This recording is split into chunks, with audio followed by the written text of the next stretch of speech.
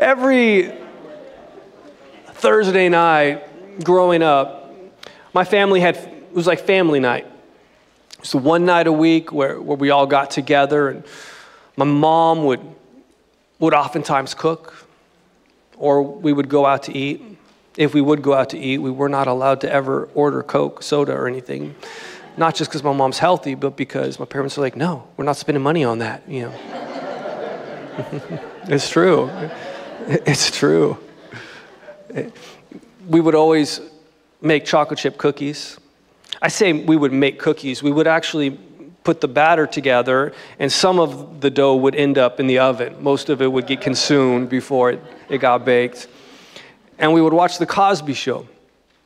It was always like, man, this is like, man, Bill Cosby, man, the perfect dad, the perfect family. It was like if Jesus were alive, he would be hanging out with the Cosbys. Or so we thought. Look like that on TV.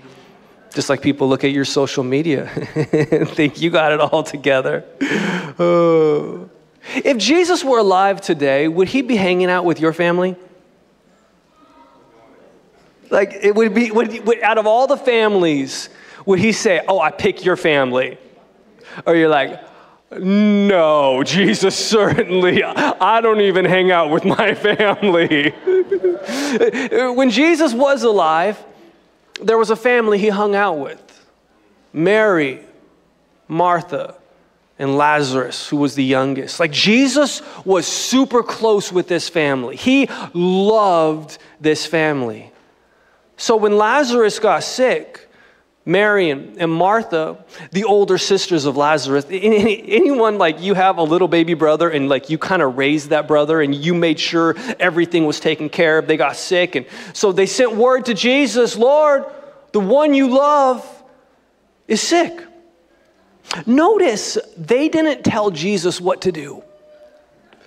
I, I read this and I'm because I'm always telling Jesus, like, Jesus, this is wrong, and here's what you need to do. They're just like, yo, we, we know Jesus, he loves us. If he knows something is wrong, Jesus is going to do what's best. The one you love is sick. And so Jesus hears this, and what does he do? Nothing. he stays where he is. He delays. Why would Jesus do this? Do you enjoy delays? Tonight, my son and I, my oldest son, we're, we're flying out of LAX, and I am, I'm just, I don't want there to be a flight delay because flight delays can be frustrating. It's like, I don't want to delay getting to Madrid. I want to get to Madrid because we're there for a short time before we head to the Middle East. I don't want a flight delay. Have you ever had a package get delayed? It was supposed to be delivered, and you're like, it, it gets delayed. It's frustrating. You order food, Uber Eats, or DoorDash, and it's late. There's a delay, and you're like, this is so frustrating. There are delays that are frustrating, but can we acknowledge there are delays that are devastating? Where you're waiting on your insurance to approve the medical procedure, but that approval has been getting delayed, that can be devastating. When you're waiting for the court docs to be processed because you need that to happen, and, and, and it's been, it, there are delays which are, which are devastating. You go to the hospital to visit a loved one thinking that they're going to get out of the hospital, and all of a sudden you realize there's been a delay, there's a 5150 hold. It can be devastating. Jesus, what, what's going on? Jesus knows Lazarus is sick, and he delays. He, he sends his word. He, he, he says, This sickness will not end in death. No, it'll be for God's glory. Here's the thing there is a problem and there is a promise. You need to know that when there is a problem, there is a promise from God. You're like, well, you don't understand what I'm going through. I'm, I've experienced tremendous loss. My, my heart has been broken. Well, did you know in Psalms we read that the Lord is close to the brokenhearted? He's not distant, He's not aloof. He, he saves those who are crushed in spirit. You're like, I, I, can't hardly provide for my family right now. Well, you could open up scripture and see that God is Jehovah Jireh. He is your provider. Uh, you're like, well, I'm a mistake. My parents even told me that they didn't want to have me. You're like, I feel like my life has no meaning. Well, you need to know that you can open up scripture and see a promise that you are fearfully and wonderfully made, that you've been made on purpose for a purpose before you were even in your mother's womb. There's a problem. But then there is a, a promise. Yet Jesus delays. We, we see that Jesus loves this family, but his behavior seems to contradict that love. Can anyone relate? Like, Jesus, if you loved me, this wouldn't be happening. Jesus, if you loved me, my dad wouldn't have walked out of the house when I was a kid. Jesus, if you loved me, this abuse would have never happened. Jesus, if you if you loved me, Jesus, if you loved me, you would do something right away. Well, well God's love is not a pampering love. God's love is not like going to the nail salon and getting your nails done. God's love is not like getting your hair done. God's love is not pampering, God's love is preparing. God's love is perfecting. you may have been delayed, but I have an announcement you haven't been denied. There is a miracle in motion. So after two days, Jesus is delayed for two days. He tells his disciples, okay, guys, we're going to go see Lazarus now. And his disciples are like, Don't you know it's dangerous? The, the journey we need to take last time in that area, they tried to kill you. Like the threat is real, it is dangerous. It is dangerous following Jesus today, even in this country. Oh, you might get fired for your faith. Oh, you might get canceled for your faith in other parts of the world. I, I, just read a story about a woman who converted to Christianity and she was brutalized because of that decision by a few guys. It's dangerous. His disciples, like, Wait, Jesus, I, I don't think we want to do this. Isn't it amazing that these handpicked individuals by Jesus who had traveled with Jesus for years at this point are now taking direction from life's circumstances, not from Jesus.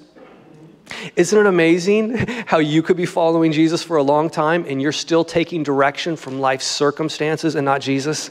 Jesus says one thing, but you're like, but Jesus, don't you know this? Well, Jesus doesn't understand my boss. Jesus doesn't understand. Who are you taking direction from? because it seems it seems dangerous. Hmm. Yeah, G- Jesus is like, uh, guys, Lazarus is sleeping. I need to go wake him up. And the disciples are like, if he's sleeping, he'll get better. That's good. Maybe his mom or his sisters should make him some chicken noodle soup. They, they can get a glass of water purified, put some lemon and some ginger in it, maybe put some apple cider vinegar. You know, you have all your things that you think are going to heal everything. He'll get better. His disciples don't get what's going on. We view these disciples as these super saints oh, I can't, I can't relate to them. What, you can't relate not understanding what God is doing and saying? We think, oh, it's these amazing individuals. And they're like, they don't, they, Jesus has to tell them plainly, like, listen, Lazarus is dead. And for your sake, I'm glad I wasn't there so that you might believe. Notice he never says he's glad Lazarus is dead. He says, I'm glad I wasn't there so that you might believe. He's talking to his disciples so that you may believe? What is he talking about? Don't they already believe? These individuals left everything to follow Jesus. They left their careers, they left their families, they left everything. They're following Jesus, and now he's like, so that you might believe. He's talking about their belief going to another level. What in your faith, in your belief, needs to go to another level? Oh, you believe that, that you can get truth from Scripture, but do you believe that miracles can take place in your life? Oh, you believe that you could be encouraged and comforted in God's house, but do you believe you could lay hands on someone and see him get healed? I didn't play a lot of video games growing up. I just wasn't really never into video games. I, I played a few. One of them was Super Mario Bros. Remember that? And when you're on the first level, you got to get to the second level. But then you start realizing, oh, there's, there's some secret passageways, and you can, you can skip levels.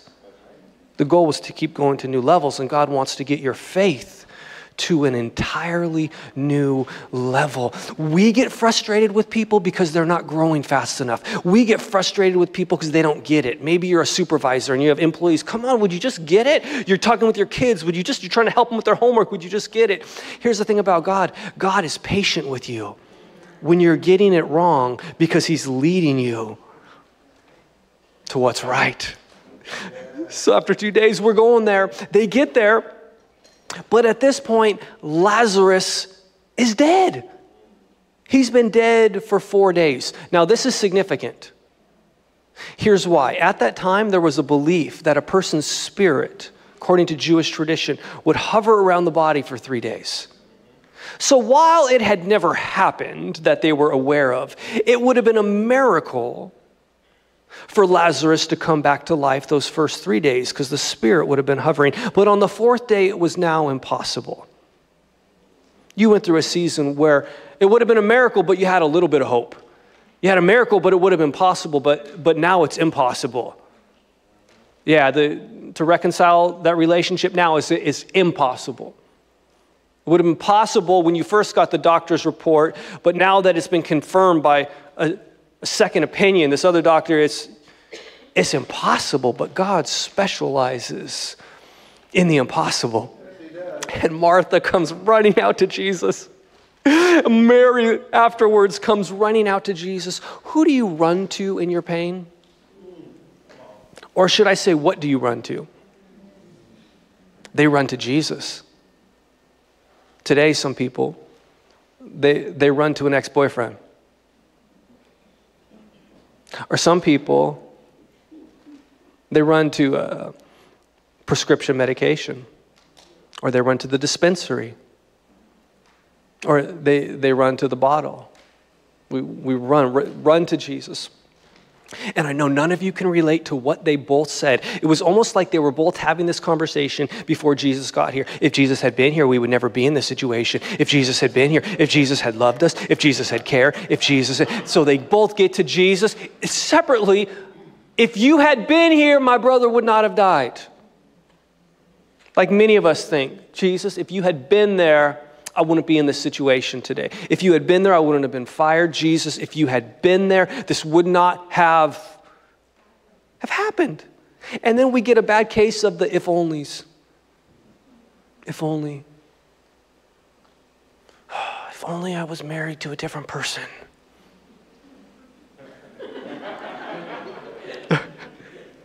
Just look cool, breathe, you know. You lost an hour of sleep, blame it on that. If only. If only I had a better boss.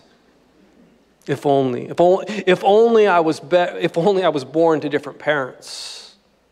If only. If only. If only. Mary actually falls to the feet of Jesus. It says that, that she was crying. Now, I don't know about you, but I don't really believe some of the things people post online. You see these posts where it's like this girl with like one teardrop going down her face, worst day ever, you know? The tongues, whatever that look is, you know? The one teardrop. Like, that ain't tears. Y'all know, like, maybe you, maybe you have a pretty cry, but I'm talking about people who have an ugly cry. You know when it like the tears are just coming. down. You've seen it with little kids where they like they can't even talk. They're trying to tell you it's not coming down your nose. You know you. It's just like you don't even have a tissue. You're just using your shirt, using your sleeve, right? And tears coming down your face. You can't even get a word out because you are because you are crying. Just because you have a promise from God does not mean that you will avoid pain in the journey of the promise being fulfilled. Mm.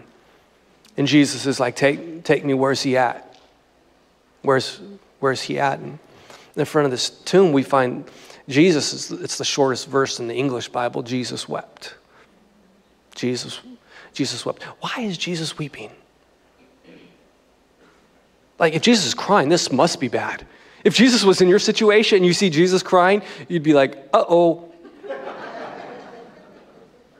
we, many think, which seems to be true, that Jesus, Jesus saw all the hurt around him and he, he's crying. Now, when it says Jesus wept, the, the word that is used is only used once in the entire New Testament. And it's not talking about a loud cry, which is the other cry. It is a word that articulates a quiet cry, that articulates a soft cry, a subtle cry, that Jesus is there and he is moved most likely by all the hurt around him.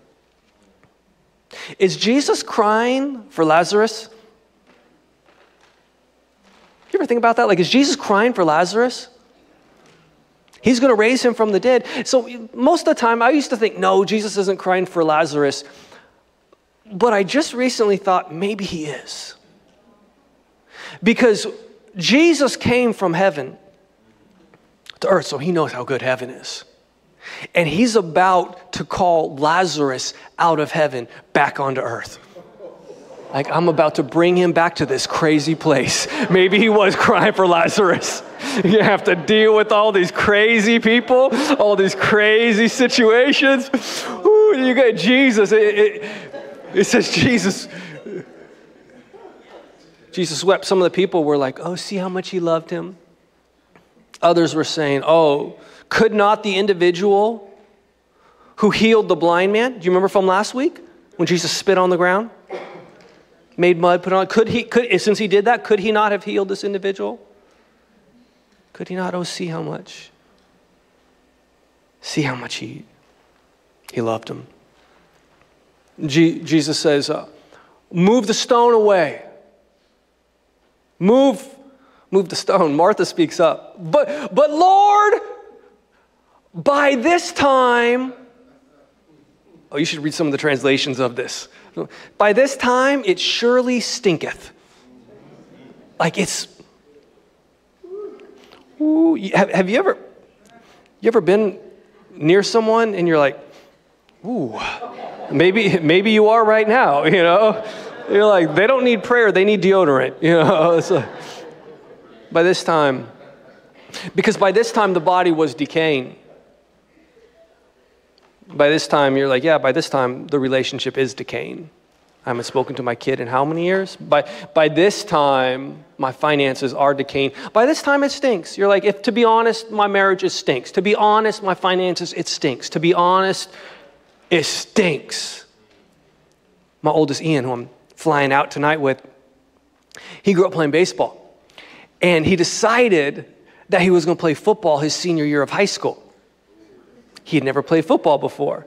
He's like, what? He's like, I'm six foot six, you know. I'll go light up all these little guys. Oh, he learned it's you could be big, but doesn't mean that you know how to hit. He'd be so tired. he would come home after football practice exhausted. He wouldn't even shower. He would just go lay in bed and fall asleep. By the fourth day, it surely stinketh. By the fourth day, it was like, close the door. True story. When he left, moved out to go to college in Arizona, we, were, we tried washing everything. We finally threw away the bed. We threw away the sheets. We, like, it was like, it, it smelled. It, it was bad. It was bad. Mary and Martha are staring at a, at a tomb. No, don't move it. It's, it's over, Jesus.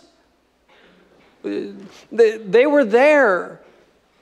With, with Lazarus, maybe, maybe getting oh, a cool wet washcloth putting on his forehead. Oh, we told Jesus, we, we sent word to Jesus, Jesus has got to be on his way. You know how much Jesus loves you. They, they were there when, we, we, when his eyes went, no, this, they saw, they saw life leave, leave his body. They were there, probably wrapping his body in the grave clothes. They saw all of that happen. You, you have seen it happen. You were there when the trauma was taking place. You were there as you were expecting Jesus to step in and restore that situation. You were there and you saw life leave that, that situation, that circumstance. And now it's just, it's, it's staring staring at, at a grave.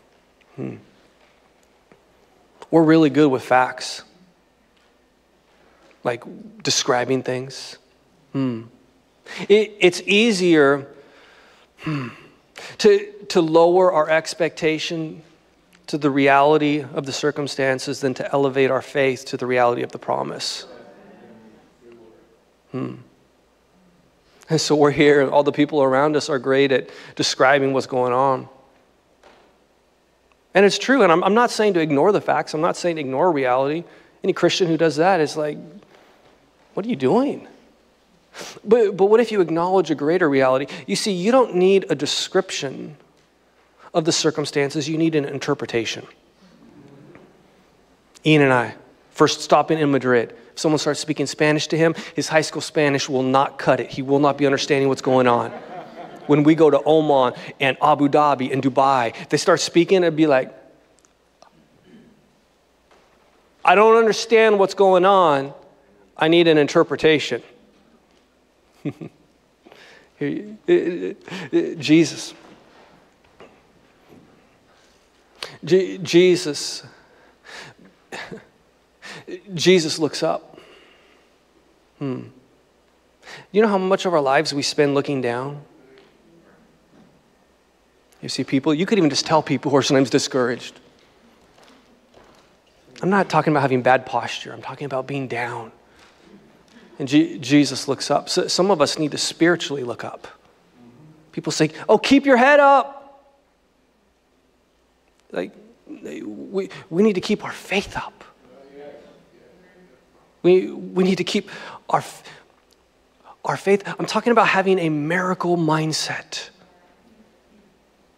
Some of us have a mindset whatever can go wrong will go wrong, and it'll happen to me. Others are like, we, we gotta have a we gotta have a miracle mindset.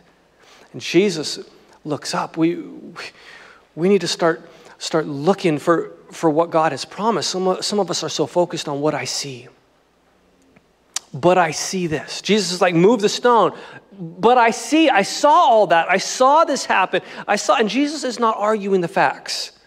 But I see this, but I see this. But what about what God said? You see, there is a miracle in motion because of what God spoke. The miracle began when God spoke those words. said, Yet we can be like, but look at all that's taking place. Lazarus is dead, and you said Lazarus was not going to die. Is that what he said? He said, This sickness will not end in death. And yes, some of us are so busy telling, you said this, God, and you said that, and you said that. He never said Lazarus wouldn't die. He said this will not end in death. So if Lazarus is dead, this is not the end. I have an announcement for you. This is not the end. You're miserable in your career right now, but God would say, This is not the end. You don't know what to do in this relationship, but God would say, This, you want to throw in the towel, but God says, This is not the end. You think you're going to live your whole life depressed and discouraged and just feeling like there's that inner tor- turmoil, but God would say, This is not. This is not the end. He says, he, he, prays. He says, Lord, I know you hear me. I know you always hear me. But I'm saying this for the benefit of those around me that they would believe. That they would believe. Do you believe? I'm not just saying, like, do you believe? Like, oh, yeah, I believe in God. I believe that, you know, whatever. I believe. I'm like, do you really believe? Do you remember the faith you had when you first got saved? Someone's like, that was a long time ago. At the nine o'clock, people had to start counting decades, Carlton. I thought they were counting years. One, two, three. Like they, they were talking decades. Like, do you remember? Because like, I, I love when people first get saved. because they'll be talking with someone and they'll be like, yeah, you know, I'm just, I, I, I the doctor said, you know, I have this sickness and stuff. And they don't just say, I'll be praying for you. They put your hand on your forehead and just start praying for you right now. And then when they're done, how do you feel? Go check it at the doctor. You know those kind of people? The, the, kind of people where when they find out that like you have that relationship there's, there, there's a, a, challenge. They don't give you a recommendation on a therapist. They start praying for you, and then they send you a text the next day, figuring out, hey, has God done it? Has God done it? Like, like, like that kind of faith. Like that, that faith, so, I'm so that all of you will believe. And he says, he says, Lazarus, come out. Lazarus, come forward. God is calling you out of some things. God is calling you out of sickness. God is calling you out of discouragement and depression. God is calling someone out of a funk. God say, come out. But we got some of us who are grave dwellers.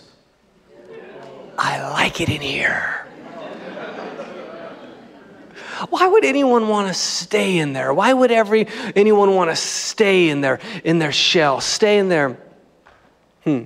Uh, maybe one of the reasons is miracles don't always look like miracles. miracles don't always look like miracles. If you watch the award shows today, beforehand with the red carpet, you get people walking up and, oh, who's this dress made by? And fully done up and that's how we think this should be with Lazarus. But how does Lazarus come out? Like we think Lazarus is like, you know, it's like lights, and here comes Lazarus just like walking all like, what's going on, people? How you like me now? You know, tux on, hair done. But he was wrapped in grave clothes. Hmm. If you know anything about how they wrap bodies at that time, maybe it looked like barely like you know like can't hardly move it's wrapped tight like like he's alive but he looks messed up. That's how miracles are. Sometimes like it's there but it looks messy. It's there but it looks ugly because oftentimes you still look like what you came out of